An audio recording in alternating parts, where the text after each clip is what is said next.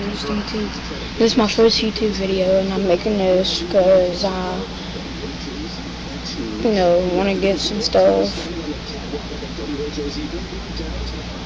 And I'll do anything, stunts, teach, dance, anything, sing, yeah.